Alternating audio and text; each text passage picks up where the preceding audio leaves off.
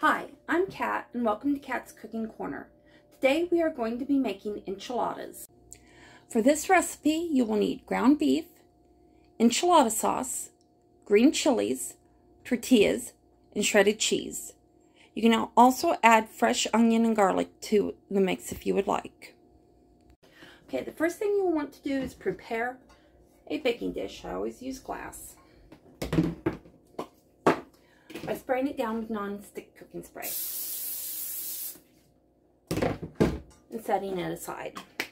You'll also want to preheat your oven to 375 degrees.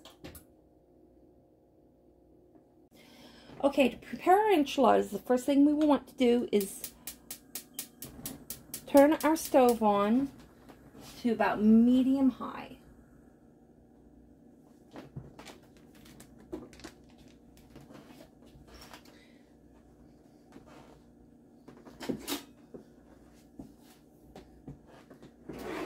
I like onions, so I have diced up some onion here to add, but this onion, of course, is optional for this recipe.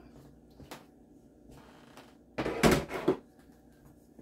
we're just going to let the onion cook for a moment, um, not very long. Just kind of heat up. And then we want to add one pound of ground hamburger meat. Ooh.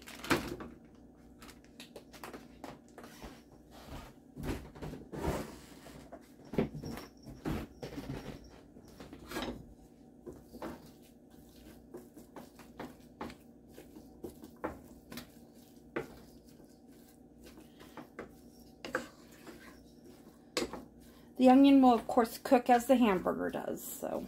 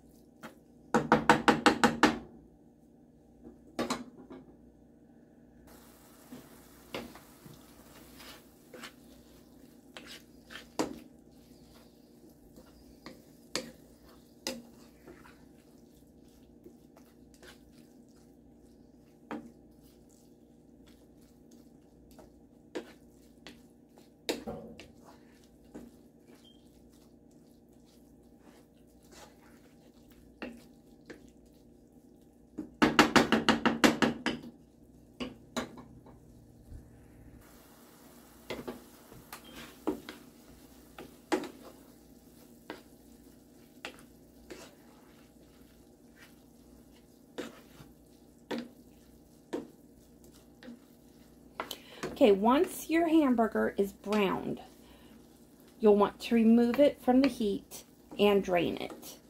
The cooking process usually takes about five to seven minutes.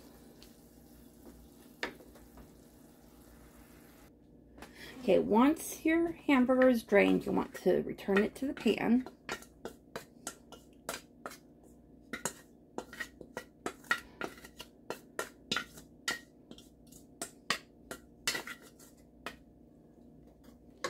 and turn your heat back to about medium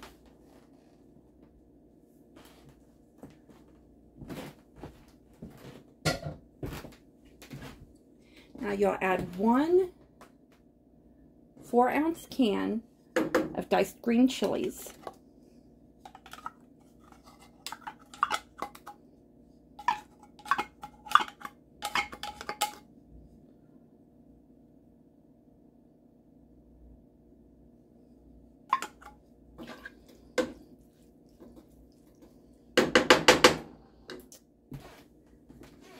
And then I have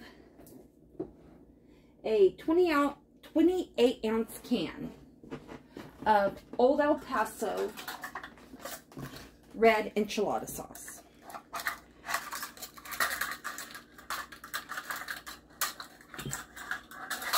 And I am going to add about one cup of it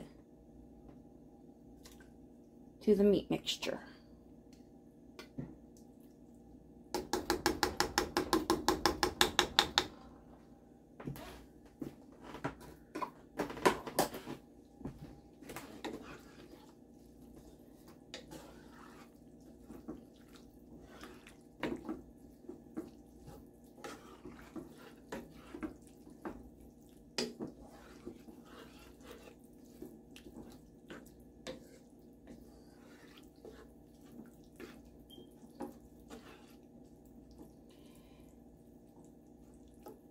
And we're going to let this simmer for about three minutes.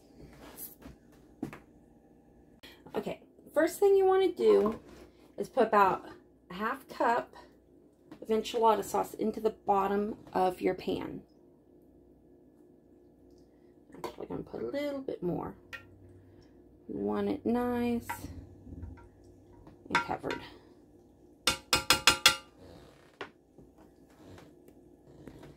Okay, to assemble your enchiladas, I find it easier to do on a small plate. So I take one tortilla shell. And down the center, put a little bit of the meat sauce. Don't want a lot, because you don't want it to overflow. You want to make sure there's plenty there. I'll put a pinch of cheese. And then we want to take, and I always take, roll it like so, and then roll it up tight. And you put it seam side down into your pan. And I will show you one more.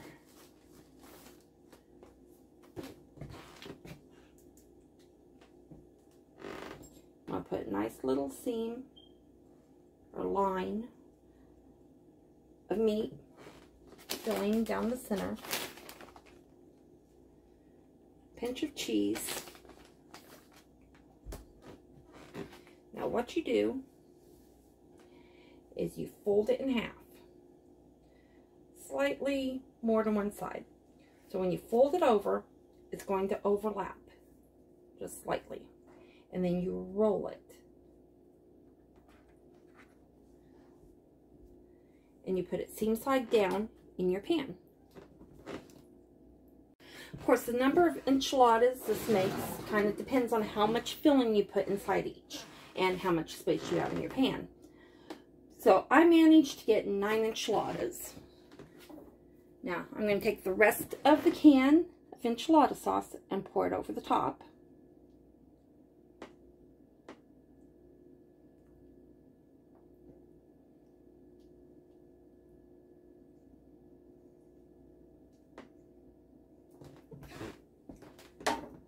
And then I'm going to top it with a nice layer of shredded cheese.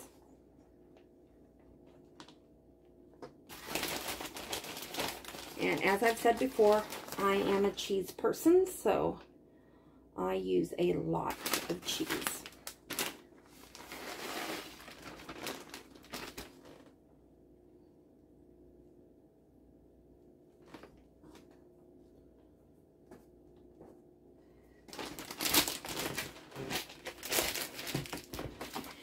And now we want to put this in our oven for 20 to 25 minutes. Uh, your oven should already be preheated to 375 degrees. This recipe pairs really well with Spanish rice, refried beans, and or a garden salad. You can also serve it with sour cream or guacamole. I hope you enjoyed today's episode of Kat's Cooking Corner. If you would like to see more recipes, please subscribe.